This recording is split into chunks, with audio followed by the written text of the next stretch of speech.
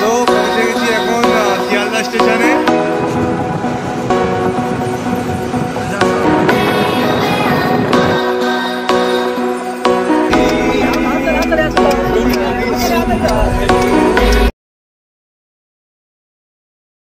তো পৌঁছে গেছি এখন শিয়ালদা স্টেশনে। আমরা যাচ্ছি গ্যাংটক, আজকে আমাদের ডেস্টিনেশন। তো এই আমাদের চার partner Why? Would you like to say something?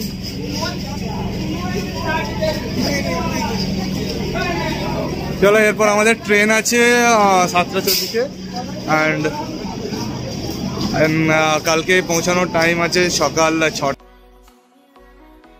So এখন আমরা যাচ্ছি গ্যাংটকের উদ্দেশ্যে এবং যার যাত্রাপথ পাঁচশো বিয়াল্লিশ কিলোমিটার এবং এই যাত্রাপথের শুরুতেই ট্রেনের উইন্ডো সিটে বসে এমন একটা অপরূপ ভিউ সবার ভাগ্যে আসে না। বাট আমরা সত্যিই খুব লাকি ছিলাম। যাই হোক, এই ভিডিওতে আমি আলোচনা করব আমার গ্যাংটক ভ্রমণের যত যাবতীয় ডিটেলস এবং ট্যুর প্যাকেজ সো প্লিজ ভিডিওটা দেখতে থাকো আর সাবস্ক্রাইব করো। তো সকাল ছটা নাগাদ আমরা এনজিপিতে নামলাম এবং এনজিপিতে নেমে আমরা এই ভ্রমণের একটা প্যাকেজ করে নিলাম। যার কস্ট খুবই কম পড়েছিল। যার কস্ট পড়েছিল মাত্র পাঁচ হাজার একশো টাকা ইনক্লুডিং খাওয়া দাওয়া।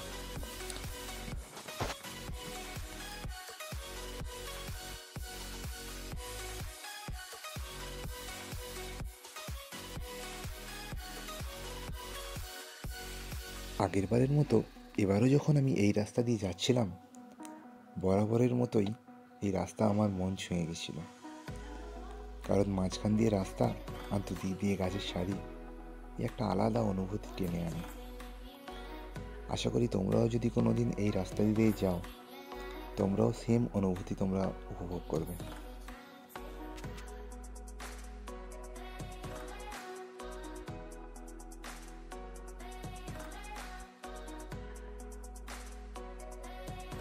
সো এত যাত্রা, এত পথ অতিক্রম করার পর আমরা অবশেষে পাহাড়ের ভিউ দেখতে পেলাম।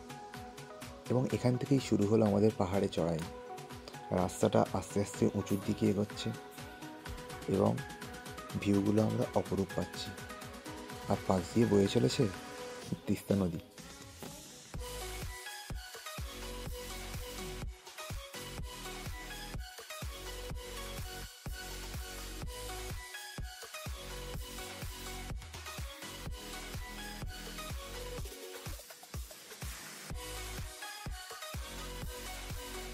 এখন মানে গাড়িতে থাকার পর এক জায়গায় এসে গাড়িটা হোল্ড করল অ্যান্ড একটু মাথাটাও মানে ঘুরছিল গাটা গুলাচ্ছিল তো এক জায়গায় আমরা হোল্ড করলাম। তো এক্ষুনি মানে আমাদের কিছু প্যাসেঞ্জার এখানে নেমেছে তো আমরা একটু দাঁড়ালাম। তো এরপরে আমরা আবার বেরিয়ে যাব গ্যাংটকের উদ্দেশ্যে যেটা এখান থেকে মাত্র পনেরো কিলোমিটার দূর আছে। আর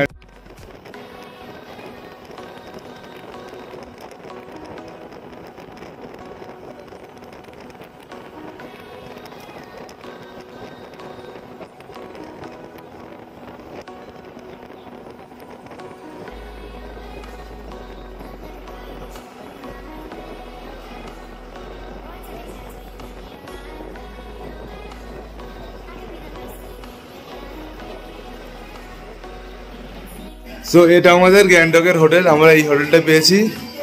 অ্যান্ড এটা টু বেডের একটি হোটেল। একটা বেড অ্যান্ড একটা বেড যেটা পুরো একদম মানে নোংরা হয়ে আছে। আর এখান থেকে বাইরে থেকে মানে এর যে বাইরের ভিউটা আমি দেখাচ্ছি তোমাদের, বাইরের ভিউটা একবার দেখে নাও। বাইরের ভিউটা কিছু এরকম পাওয়া যাবে। জাস্ট এক কথায় অসাধারণ। এই কোনো মানে রাত্রে কতটা বোঝা যাচ্ছে আমি বলতে পারছি না বাট এটা খুবই একটা ভালো ভিউ এখান থেকে। আর এই আমাদের বাথরুম বেশ নিট অ্যান্ড ক্লিন আছে। অ্যান্ড আমরা এখন বেরিয়ে পড়েছি গ্যাংটকের এমজি মার্গের উদ্দেশ্যে। অ্যান্ড এখান থেকে যেতে যেহেতু এখান থেকে একটু দূর তো সেই জন্য আমাদের যেতে সময় লাগবে ওই দশ মিনিটের মতো লাগবে। সো ওই কিছু বলবেন? বাট এখানে আজকে ফার্স্ট দিন খুব ঠান্ডা লাগছে। কি বলব প্রচণ্ড ঠান্ডা প্রচণ্ড ঠান্ডা লাগছে। জানি না লাচুংয়ে কতটা এর থেকে বেশি ঠান্ডা পাবো তবে আশা করছি হয়তো স্নোফলস হয়তো খেতে পারি লাচেং বা লাচুংয়ে। ব্যাস। তো আমরা ড্রেস পরছি এখন। মানে এমজি মার্গের উদ্দেশ্যে যাওয়ার জন্য। তো কিছু তো এখানে স্নোফল তো আমরা পাবো বলে মনে হয় না কারণ ওয়েদারটাও তেমন নেই। বাট যদি লাখ সাত দেয় তো আমরা অবশ্যই পাবো। নেক্সট ডে আমরা লাচুং যাচ্ছি তো সেখানে গিয়ে আবার দেখা হবে। তো এর পরের ক্লিপটা আমি এমজি মার্গে যাচ্ছি তো সেই ক্লিপটা দিচ্ছি তোমরা এনজয় করতে থাকো। সো এসে গেছি এখন। তোমরা দেখতেই পাচ্ছ। এসে গেছি এখন আমরা এমজি মার্গে অ্যান্ড এই আমাদের চার মূর্তি। কোথায় তোমরা সবাই চলে এসো? হ্যাঁ। তো এই সেই গান্ধীজির পাদদেশে আমরা দাঁড়িয়ে আছি। অ্যান্ড আজকে তুলনামূলকভাবে ক্রাউডটা একটু কম আছে বাট ভালো লাগছে।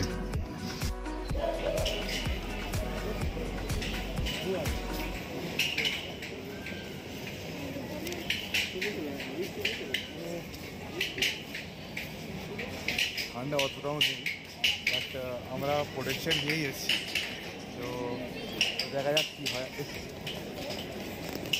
বাট আমাদের যতটা ধারণা ছিল ঠান্ডা সম্পর্কে ততটা ঠান্ডা নেই হ্যাঁ। নাকি? বুয়াই তোমার মানে ঠান্ডা সম্বন্ধে কেমন উপলব্ধি করছ?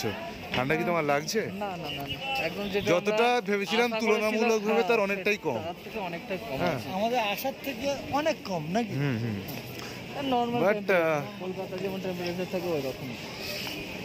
আমাদের যেমন কলকাতায় স্প্ল্যানেড আছে তেমন আচ্ছা এখানকার এমজি মার্ক বিখ্যাত। এই মানে হেঁটে হেঁটে যাওয়া এই যে সিচুয়েশনটাই আলাদা। একটুখানি একটুখানি স্টেপ মানে এরকম করে ধরে নিয়ে যাওয়া ঠিক আছে? সো এখানেই আমাদের ডে ওয়ান শেষ। এবং এই ডে ওয়ানে তোমাদের আমি দেখালাম এনজিপি টু গ্যাংটক ভ্রমণ। এবং ডে টুতে থাকবে Gangtok to Lachung and Yumthang valley zero point so আজকের ভিডিওটা এখানেই শেষ করলাম। এবং এর পরবর্তী পার্ট দেখার জন্য অবশ্যই চ্যানেলটাকে সাবস্ক্রাইব করে দিও। সো বাই দেখা হচ্ছে তাহলে পরের ভিডিওতে।